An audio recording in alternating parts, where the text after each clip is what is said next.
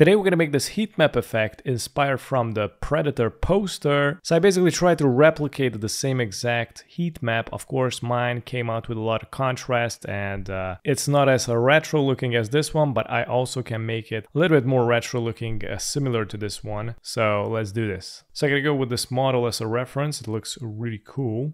Right click on the image, convert to smart object. And now we're gonna go to the adjustment layer, scroll down, let's select the gradient map, and we're gonna click on reverse and click on the gradient. And now we're gonna switch up the colors. I'm gonna double click on the black and I'm gonna select a darker red, which is a little bit also more brownish, something like this. Click OK. And I'm gonna go somewhere here in the middle, a little bit to the left. Click and I'm gonna switch this up to orange. This is good. Click OK. And I'm gonna add another one right next to the orange. And I'm gonna change this to a more toxic yellow. So this color is in between the yellow and the green and it's really bright. Click OK Okay, next to it, I'm gonna add another one and this is going to be green. A more dirtier green and a lighter. I'm gonna click OK. And next to it, I'm gonna go add another one and this is going to be a cyan, a bright cyan. Click OK. And I'm gonna add right next to it another one like this.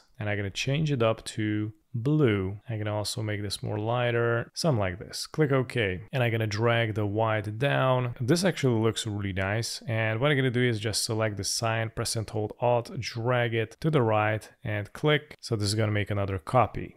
I'm gonna click OK and so far this is how it looks. It has a lot of contrast going on and in the example the contrast was reduced. It was kind of a more retro vibe. So what I'm gonna do is go to the image and let's go to the filter blur and we're gonna go with Gaussian blur. So the Gaussian blur is going to add more realism to this heat map. So if I increase it you can see basically it's gonna look exactly like you know in that predator example. I don't like it necessary so I'm gonna you know decrease it. I would go with somewhere around 3 in this situation and click OK. Let's go to the filter, noise, add noise.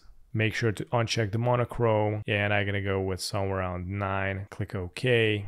So with the noise, you're going to add some contrast back, but it won't look like the original image. It will look like with less contrast actually. And mainly this is how you make this Predator heat map effect in Photoshop. Thanks for watching.